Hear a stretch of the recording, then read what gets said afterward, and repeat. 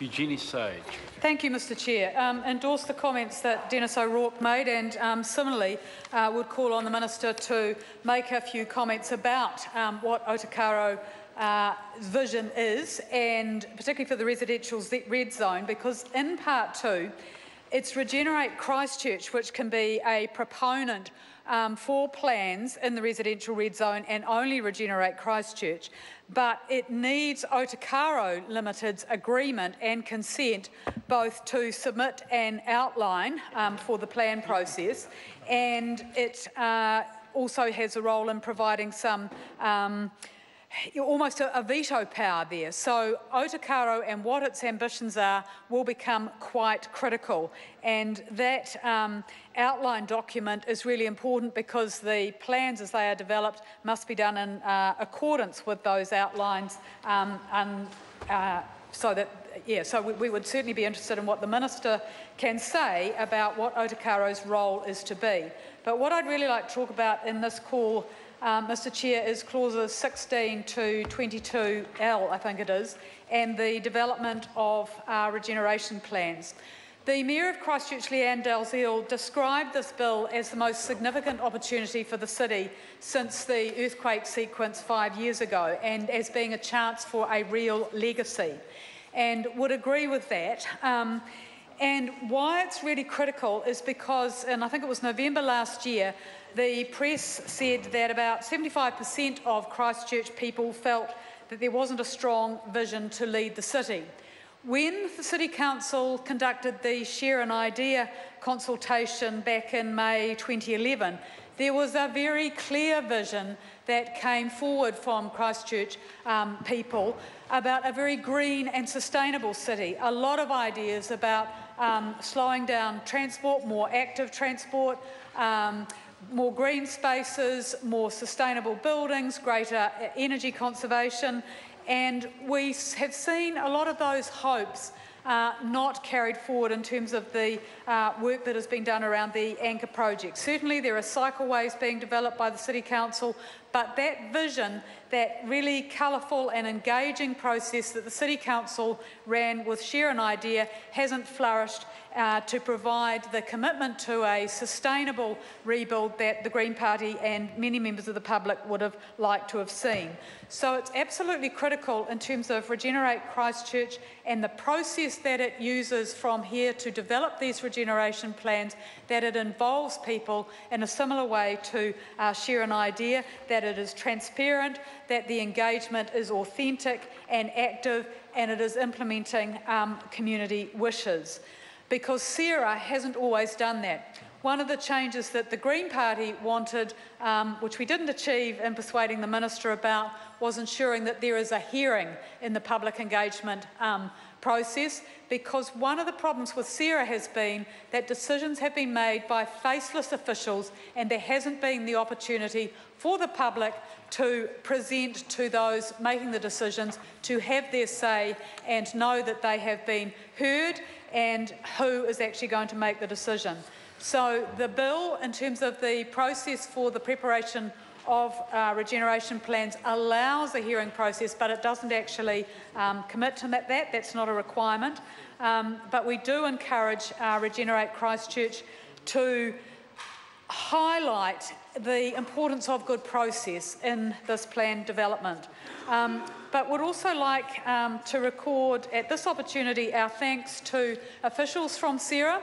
It would be fair to say that the Green Party has certainly uh, been quite critical of the way the substantial powers that CERA and the Minister have had under the Canterbury Earthquake Recovery Act um, and the way those be, have been exercised.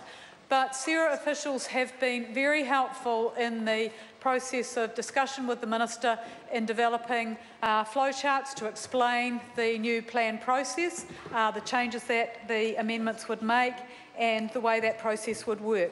We recognise that it's a quite a difficult time for officials now as the organisation winds up. Many have already left. Um, we would be pleased if the Minister and the Chair would take a call uh, in terms of how he envisages the Department of Prime Minister and Cabinet uh, operating, how big that uh, additional uh, uh, responsibilities that the Department of Prime Minister and Cabinet has under the bill to monitor its implementation, Mr Chair. Eugenie Um, Sage.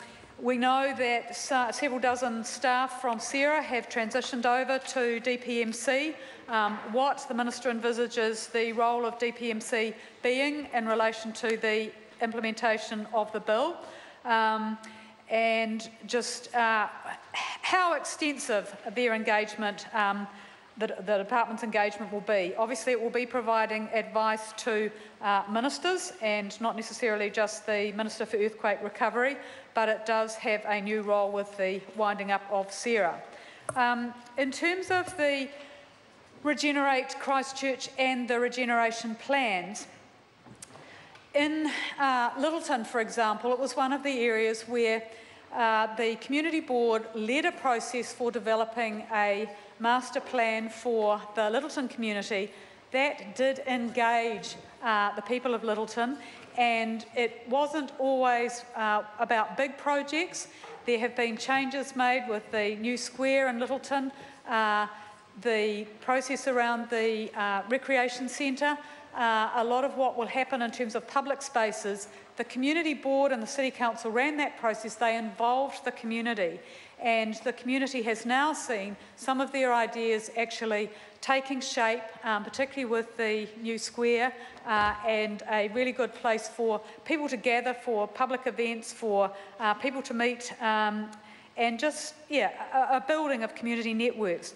Regenerate Christchurch needs to have that same commitment to good engagement uh, so that it's the public's wishes for what happens in this next phase if we are to fulfil the hopes that uh, many people have in terms of the way they made submissions, that the City Council has, and that the Mayor um, has in terms of her comments about uh, it being the chance for a real legacy.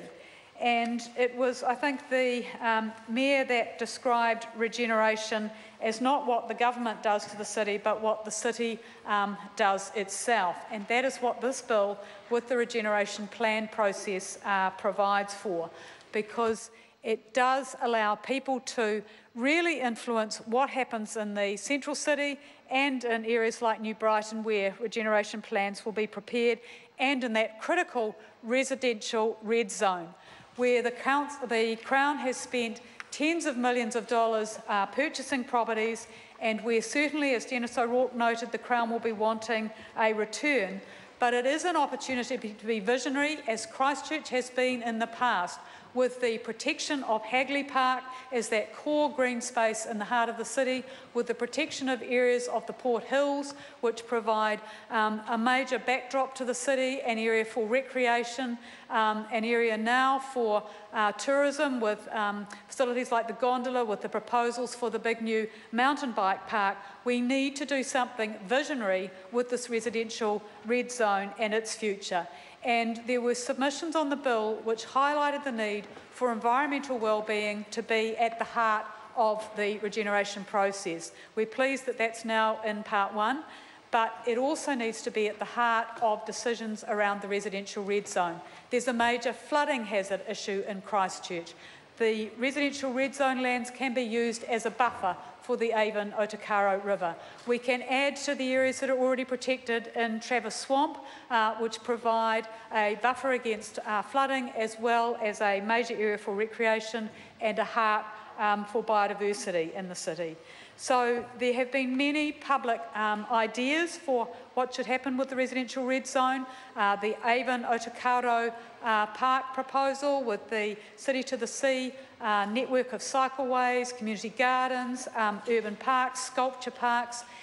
If Otakaro Properties, if Otakaro Limited is to realise those sorts of ambitions that Christchurch folk have um, wanted for the, this area that is now largely devoid of houses. We need a good public consultation process. We need Regenerate Christchurch to commit to authentic and genuine uh, community engagement and we'd be very interested in the Minister's comments on how he sees uh, Otakaro carrying out its responsibilities um, under the bill. Thank you.